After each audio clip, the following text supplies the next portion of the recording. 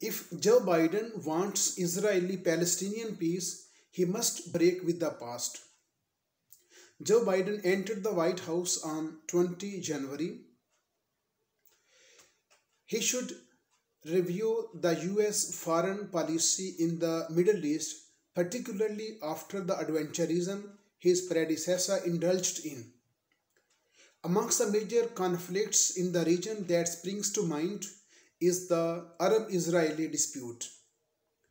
While the US leader Joe Biden has said he will not reverse Donald Trump's controversial step of shifting the American embassy to the disputed city of Jerusalem, Joe Biden can definitely call out Israel for its atrocious behavior towards the Palestinians, especially under Benjamin Netanyahu's rule.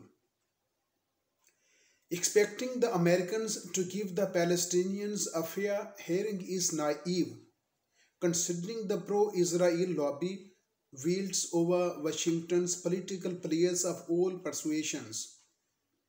However, the least Mr. Joe Biden can do is to prevent Israel from launching more murderous forays into Palestinian areas and stop Tel Aviv from devouring more and more Arab land.